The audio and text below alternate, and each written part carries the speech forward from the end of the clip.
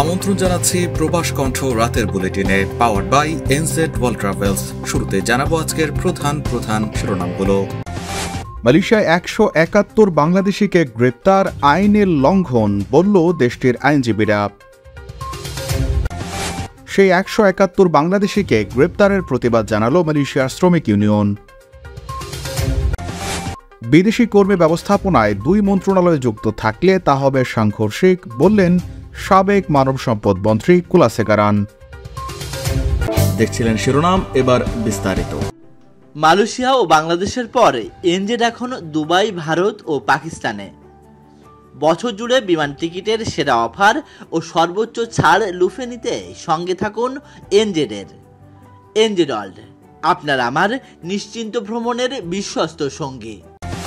মালয়েশিয়ার আইনি অধিকার গ্রুপ লয়ার্স ফর লিবার্টি আজ জানিয়েছে, জোফর রাজ্যের পেঙ্গেরংয়ে একশো একাত্তর অভিবাসী শ্রমিককে গ্রেপ্তার করা মানব পাচার বিরোধী আইনের লঙ্ঘন, কারণ তারা অসাধু এজেন্টদের পাচারের শিকার হয়েছে।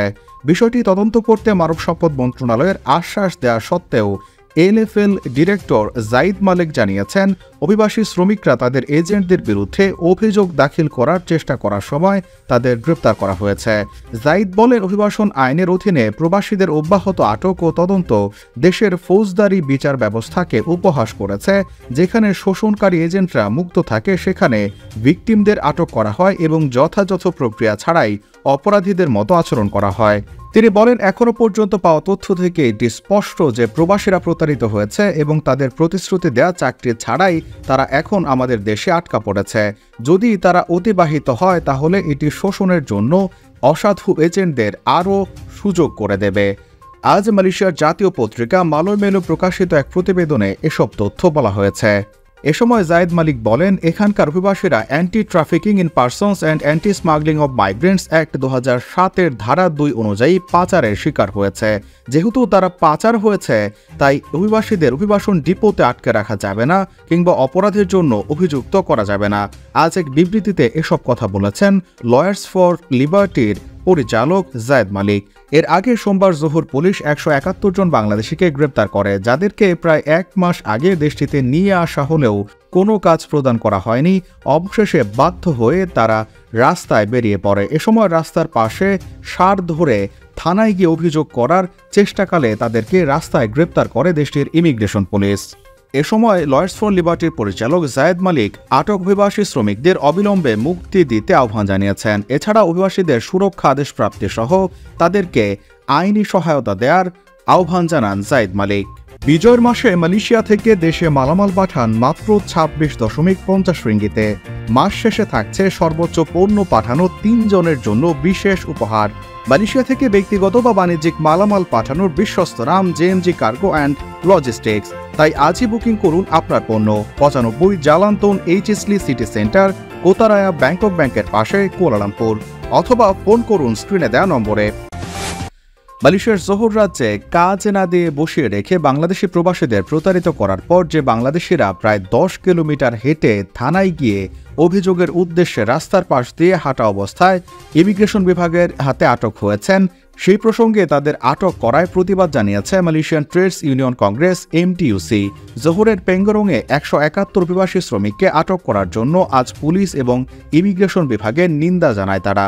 আজ এক বিবৃতিতে সংগঠনটির মহাসচিব কামারুল বাহারিন মনসুর বলেন, যেসব শ্রমিক এজেন্টের দ্বারা চাকরি থেকে প্রতারিত হয়েছেন, তাদের শাস্তির পরিবর্তে সহায়তা করা উচিত ছিল। এমটিইউসি চাকরি জালিয়াতির শিকার হওয়া বিদেশি কর্মীদের আটকে পুলিশ এবং ইমিগ্রেশনের পদক্ষেপে বিস্ময় প্রকাশ করে। প্রতারণার শিকারদের কর্মসংস্থানের সুযোগ দিয়ে সহায়তা করা উচিত। এটি বিদেশি শ্রমিকদের অবৈধভাবে প্রবেশ করার কারণ, কিন্তু অবশেষে প্রতারণার কারণে নিয়োগকর্তার কাছ থেকে পালিয়ে যেতে তারা বাধ্য হয়। অনথিভুক্ত প্রবাসী হিসেবে তারা বিবেচিত হয় এক বিবৃতিতে এই সকল কথা জানান এমটিউসির মহাসচিব। এমটিউসি আরও বলেছে, সরকারকে একটি পুঙ্খানুপুঙ্খ তদন্ত করতে হবে এবং সমস্ত বিদেশি কর্মীদের চিহ্নিত করার আহ্বান জানানো হয়েছে। যারা চাকরি সুযোগের প্রস্তুতি নিয়ে মালয়েশিয়ায় আসে, কিন্তু কর্মসংস্থান ছাড়াই তাদের মালয়েশিয়ার জীবন শেষ হয় তাদের নিয়োগকর্তাদের বিরুদ্ধে ব্যবস্থা নিতে হবে। তিনি আরও উল্লেখ করেছেন, যদি এই সমস্যাটি সঠিকভাবে সমাধান করা না হয়, তাহলে আগামী বছরগুলোতে মানব পাচার প্রতিবেদনে মালয়েশিয়া আবারও তৃতীয় স্তরে পড়ার ঝুঁকিতে পড়বে। এমটিউসি সরকারকে পুঙ্খানুপুঙ্খ পরীক্ষা নিরীক্ষা ছাড়াই বিদেশি কর্মীদের প্রবেশের অনুমতি দেওয়ার জন্য যারা জড়িত রয়েছে, তাদের বিরুদ্ধেও ব্যবস্থা নেওয়ার আহ্বান জানায়। মসুর বলেন, এই ধরনের ধারাবাহিক কর্মকাণ্ড শেষ পর্যন্ত মালয়েশিয়াকে বাধ্যতামূলক শ্রমের অনুশীলনের সমর্থনকারী দেশ হিসেবে চিহ্নিত করবে, যার ফলে আবারও আন্তর্জাতিক নিষেধাজ্ঞা আসতে পারে দেশের ওপর। মালয়েশিয়ার সাবেক মানব সম্পদ মন্ত্রী এম কুলাসেগারান বলেছেন, স্বরাষ্ট্র মন্ত্রণালয় এবং মানব সম্পদ মন্ত্রণালয়ের মধ্যে বিদেশি কর্মী ব্যবস্থাপনাকে ভাগ করা কেবল অদক্ষই নয়, বরং সাংঘর্ষিক হতে পারে। বুধবার এক বিবৃতিতে তিনি বলেন, বিদেশি কর্মীদের ওপর একটি স্বাধীন কমিটির একটি বিস্তৃত সমীক্ষা স্পষ্টভাবে জানিয়েছে, বিদেশি কর্মীদের পরিচালনার জন্য মানব সম্পদ মন্ত্রণালয়ের একমাত্র দায়বদ্ধ কর্তৃপক্ষ হওয়া উচিত। কুলাসেগারান যিনি এখন বর্তমান সরকারের প্রধানমন্ত্রীর আইন প্রাতিষ্ঠানিক সংস্কার বিভাগের উপমন্ত্রী, তিনি সম্প্রতি ঘোষণা করা বিদেশি কর্মী ব্যবস্থাপনা প্রতিবেদনে বর্ণিত সুপারিশ বাস্তবায়নের জন্য অবিলম্বে একটি টাস্ক ফোর্স গঠনের আহ্বান জানান। প্রস্তাবিত ব্যবস্থাগুলোকে দ্রুত এবং কার্যকর বাস্তবায়ন নিশ্চিত করতে এটিতে বিশেষজ্ঞ স্টেক হোল্ডার এবং প্রাসঙ্গিক সেক্টরের প্রতিনিধিদের অন্তর্ভুক্ত করতে পরামর্শ দেন তিনি। তিনি বলেন, বর্তমান পরিস্থিতি যেখানে দুটি মন্ত্রণালয় বিদেশি কর্মীদের পরিচালনার দায়িত্ব পালন করছে, তা আমাদের জাতির সর্বোত্তম স্বার্থে ব্যবহৃত হচ্ছে না। যেখানে এই কাজগুলো অনেকটাই সাংঘর্ষিক এবং নানা গ্যাপ তৈরি করছে।